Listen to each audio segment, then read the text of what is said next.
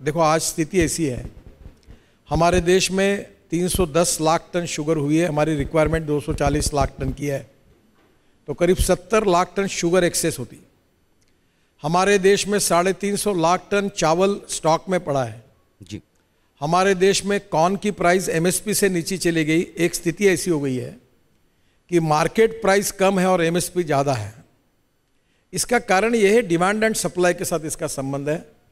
और ये जो सरप्लस प्रोडक्शन है इसके लिए हमारे सरकार ने निर्णय किया कि किसान अब अन्नदाता नहीं बनेगा ऊर्जादाता बनेगा और मैं भी किसान हूँ मैं तीन चीने मिले चलाता हूँ For more such videos, subscribe to the NewsX YouTube channel, hit the bell icon.